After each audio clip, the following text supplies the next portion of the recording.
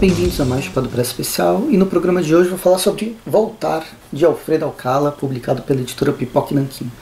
Esse é o primeiro programa que eu estou fazendo agora de 2022. Já teve outros, né, que eu que eu subi, mas que foram gravados antes. Tem outros que eu já gravei ao longo de dezembro que ainda vão vir, que eu ainda vou editar e vou subir né, na, no YouTube. Mas esse é o primeiro que eu estou gravando agora em 2022, então vou dar feliz ano novo. Espero que todo mundo esteja, tenha passado bem Natal, Ano Novo, todas essas coisas e que 2022 seja melhor que 2021 e 2020, já que esses dois anos foram meio que nebulosos e praticamente a mesma coisa, o lance da Covid, o nosso governo ainda ainda está aí, né? A gente está nesse início de ano ainda passando por, pelos mesmos problemas, mas talvez com uma perspectiva. Se antes a gente não tinha muita, talvez agora a gente pode sonhar com alguma perspectiva. Mas, bem, esse é só um breve, breve introdução para falar Feliz Ano Novo para todo mundo, que eu quero falar sobre Voltar do Alfredo Alcala. E foi um quadrinho bem interessante, foi legal começar com ele o ano. E bem, a, a editora Pipoque Nanquim ela lançou no final do ano passado essa edição que tem 270, quase 280 páginas, que vai reunir grande parte, ou pelo menos vai é, juntar um exemplo da arte do Alfredo Alcala. Por que eu falo isso? Bem, quem quer saber mais sobre a história desse desenhista, um desenhista filipino que fez muito sucesso nos anos 70 e 80 nos Estados Unidos, com desde o Conan até o He-Man, por exemplo, mas não apenas, eu acabei pegando exemplos de dois bárbaros, mas outros personagens, ele passou por Monstro do Pântano, por, por exemplo, passou pelo Capitão Marvel e outros vários títulos Bem, é um autor filipino que produzia cerca de 80 páginas por mês. Então, falar que a, a editora Pipoca Nankin reuniu toda a obra é muito longe disso. Nem tem como. Vai ser tipo aquela biblioteca do Dom Rosa que a, a Panini vem, vem, vem fazendo lá com as histórias do Tio Patinhas. Enfim, esse voltar ele vai, a editora, a, a Pipoca Nanquim, ela reuniu as histórias do Voltar, que é um bárbaro criado nos anos 60, final, é, início dos anos 60, lá nas Filipinas, para uma revista mensal, mas uma revista de várias, de várias histórias, é, várias histórias lá dentro. Então, cerca de 45 capítulos foram reunidos aqui nessa edição.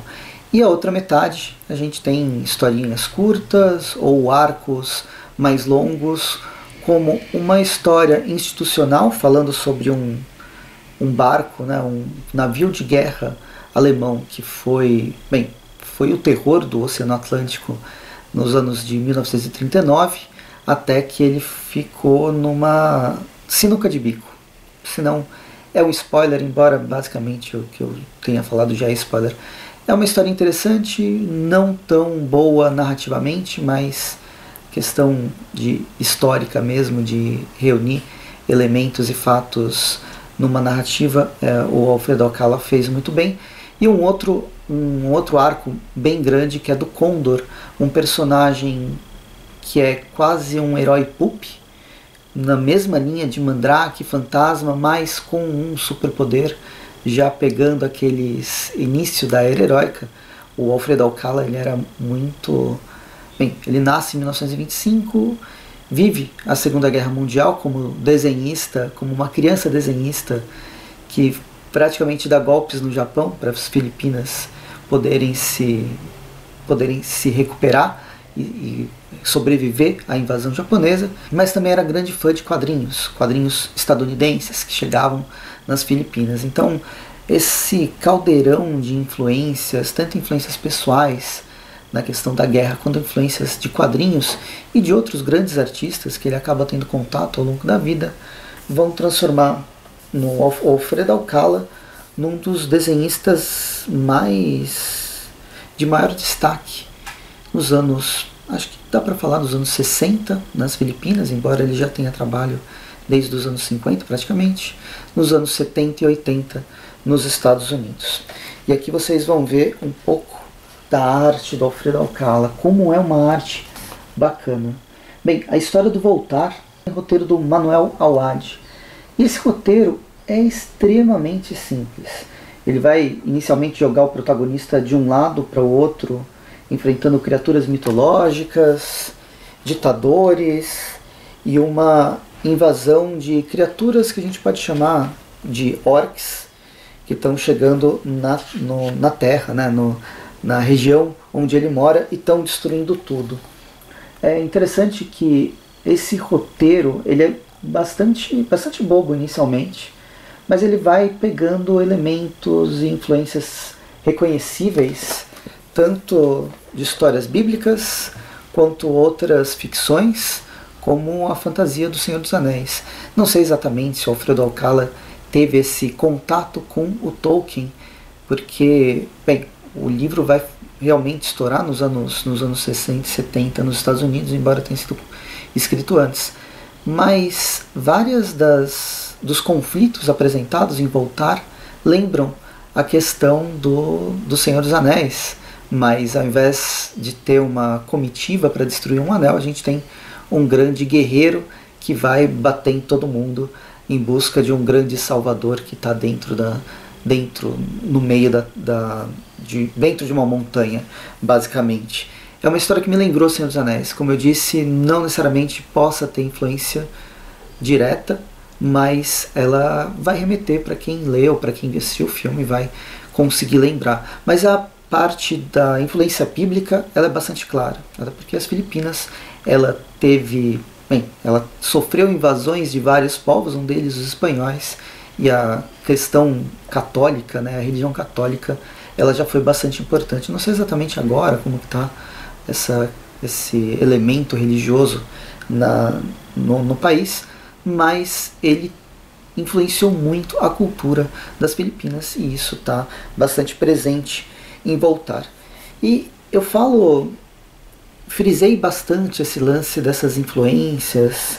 Eu acho que o principal do, da história do Voltar, na verdade, está na arte do Alfredo Alcala. É isso que vai colocar ele, vai alçar voo, né? vai colocar ele entre os maiores desenhistas das Filipinas. Depois ele traz essa técnica para os Estados Unidos.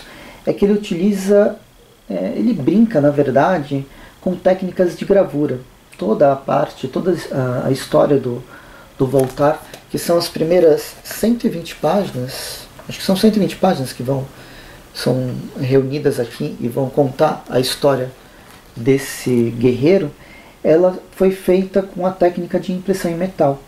Né? É uma técnica de gravura, utilizando inclusive água forte, e é por causa dessa técnica que ele consegue efeitos às vezes eles estão mais borrados, mas tem algumas imagens, principalmente as gravuras aqui no final, que tem esses efeitos realistas e extremamente detalhados, complexos, nesse realismo fantástico que ele quer apresentar, que são realmente sensacionais. A história do Voltar, na verdade, a revista do Voltar, ela se vende muito pela arte. Depois, depois disso, dessas primeiras 120 páginas, a gente entra numa, num histórico, numa breve amostra do que é o Alfredo Alcala, primeiro com Grafspi. Grafspi é o nome desse, desse navio. Aqui você já vê uma técnica utilizando o nanquim. É um conto em várias partes sobre esse navio alemão e que, bem, a narrativa não é muito boa, ela é meio travada, ela tem aquela, aquela estrutura de histórias institucionais, mais históricas, com bastante texto. Então não tem muito. O ritmo dela não é tão bom quanto o, a, a, história do Voltar, mesmo com o Voltar sendo um pouco anterior e tendo também muito texto nos seus, nas suas caixas de caixas, sejam caixas, de diálogo, sejam as caixas de texto introdutórias e, e de atmosfera. Bem, aqui vocês veem um pouco até a forma de visão dos quadros é um pouco mais tradicional. Eu achei a história cansativa, olha só aqui como tem muito texto, textos que poderiam ser mais limpos, não precisava de tudo isso e que travam um pouco, um pouco a leitura. Aí a gente tem uma série de histórias curtas, histórias curtas das mais variadas possíveis, essa aqui falando sobre a interpretação do sonho de acordo com várias culturas. Depois, uma série sobre uma sociedade de símios, que é, é engraçadinha, ela é mais voltada para o humor, um humor com aventura, um pouco sarcástico. Aí tem histórias, uh, outras histórias, a Sultana de Ramin, ou essa outra que mistura uma narrativa contemporânea com uma narrativa mais fantástica, como se as duas estivessem ocorrendo ao mesmo tempo, embora não fica tão claro, de autores variados. São roteiristas diferentes, às vezes o próprio Alcala e às vezes outras pessoas, amigos dele, que fazem o roteiro para ele fazer a história. Mas o que me chamou mais atenção e que eu realmente não esperava, até uma historinha interessante, vai falar sobre o Natal, como que é o Natal em várias partes do mundo. E aqui mostra inclusive o Brasil numa delas. Mas o que me chamou mais atenção e que eu não esperava, nem conhecia o personagem, é o Condor. Como eu disse, ele tem uma inspiração muito é, forte na literatura pulp dos, dos anos 30, principalmente. A gente vê aqui uma origem meio de Tarzan, meio de fantasma, tem também um pouco de Mandrake, mas ao mesmo tempo tem um pouco de poderes. Enquanto esses heróis que eu disse, da, que eu citei da era pulp, ela, ele não, eles não tinham necessariamente superpoderes, eram sempre artifícios que os personagens utilizavam. Aqui a gente tem um personagem com superpoder. Ele aprende a voar, um voo estranho, ele não tem um controle total, mas é um voo que lembra muito o voo do Condor, que é o nome que ele acaba levando, principalmente por causa de um grande amigo que é um Condor basicamente 3 metros que está sempre junto com ele. É uma história que eu achei bem legal, ela tem um pouco de investigação, tem um pouco na linha. Bem, é, lembra realmente a linha do, do fantasma, porque existe uma história de fundo de uma série de crimes que está ocorrendo em Manila, né, na capital das Filipinas, e relações que vão beber talvez do 007, com espionagem, com vilões caricatos como os Sete Anões e a grande rainha do crime, que é a Branca de Neve. E, bem, é, é interessante essa forma como ele trabalha. No Condor, ele mistura um pouco de técnica.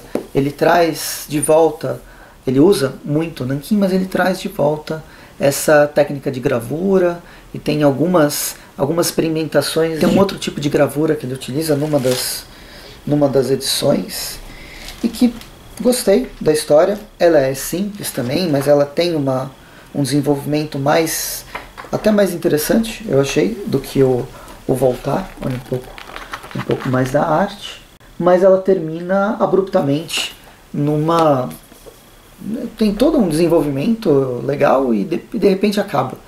A, a, história, você até quer, queria mais ver mais sobre o Condor, como que esses vilões foram vencidos em questão de duas páginas depois de um longo arco que vai pegar, não sei, eu não vou chutando, deve ter umas 50 páginas, talvez um pouco mais. Bem, o volume do Voltar, ele ainda tem tanto a introdução. A introdução ela é feita por um pesquisador que é aqui. O Marco Antônio Correia Colares é um mestre doutorando em História da Arte, que estudou, está na associação do Robert Howard e tal. E, bem, ele vai contar como foi essa aproximação com o filho do Alfredo Alcala para trazer o volume, para fazer essa revista aqui pelo Pipoque Nanquim. E no final existe, além de várias artes, várias curiosidades, a gente tem a biografia do Alfredo Alcala. E é uma biografia bem legal. Acho que explica bastante quem que é o autor. Além disso, tem sempre o extra que está além da, da, revista e todo mundo pode acessar, que é o canal do Pipoque Nanquim. Eles fizeram um vídeo bem legal sobre Alfredo Alcala, sobre Voltar e vale a pena para conhecer um pouco mais. Enfim, esse foi o primeiro vídeo que eu estou gravando aqui em 2022. Espero que vocês tenham gostado do vídeo, curtam o vídeo, assinem o canal, assinem o Chapéu do no Facebook, me sigam no Instagram, no onde eu falo sobre filmes e séries todos os dias com resenhas novas. Tem também a Fortaleza Quântica, que é um podcast onde eu e amigos meus a gente conversa sobre filmes, séries, quadrinhos, faz entrevistas. É principalmente eu e o Rafael do Multiverso 38, mas tem várias pessoas, vários convidados recorrentes. E, bem, acessem Spotify ou Anchorage, vocês encontram em qualquer agregador de áudio. E além disso, tem o link da Amazon. Qualquer compra no link da Amazon ajuda muito o canal. Voltar e qualquer material da Pipoque Nankin existe, né? É vendido exclusivamente ou prioritariamente na Amazon. Então vou ficando por aqui. Espero que tenham gostado. Espero que eu não tenha me alongado demais nesse primeiro vídeo. A gente se vê no próximo episódio. Bom 2022 e é isso. Bons quadrinhos.